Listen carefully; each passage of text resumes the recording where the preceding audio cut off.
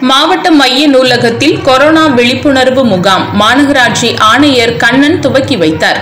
திருநெல்வேலி மாவட்ட மைய நூலகம் மற்றும் வாசகர் வட்டம் சார்பில் நான்கு நாட்கள் கொரோனா விழிப்புணர்வு நிகழ்வுகள் நடைபெறவுள்ளது அதன் துவக்கமாக திருநெல்வேலி மாநகராட்சி ஆணையர் திரு. கண்ணன் அவர்கள் கலந்து கொண்டு நிலவேம்பு குடிநீர் போட்டித் தேர்வுகளுக்காக படிக்க வந்த மாணவ மாணவியர் மற்றும் நூலக வாசகர்களுக்கு வழங்கி மாவட்ட நிர்வாகத்தோடு இணைந்து மாநகராட்சி சார்பில் எடுக்கப்பட்டு வரும் கொரோனா விழிப்புணர்வு மற்றும் தடுப்பு நடவடிக்கைகளை எடுத்து கூறினார். மாவட்ட நூலக அலுவலர் மீனாட்சி சுந்தரம் மாவட்ட மைய நூலகத்தின் சார்பில் தொடர்ந்து நான்கு நாட்கள் நிலவேம்பு குடிநீர் மற்றும் சித்த மருத்துவர்களை அழைத்து வந்து அவர்கள் மூலம் கொரோனா விழிப்புணர்வு ஏற்பாடு செய்யப்பட்டுள்ளதாக தெரிவித்தார்.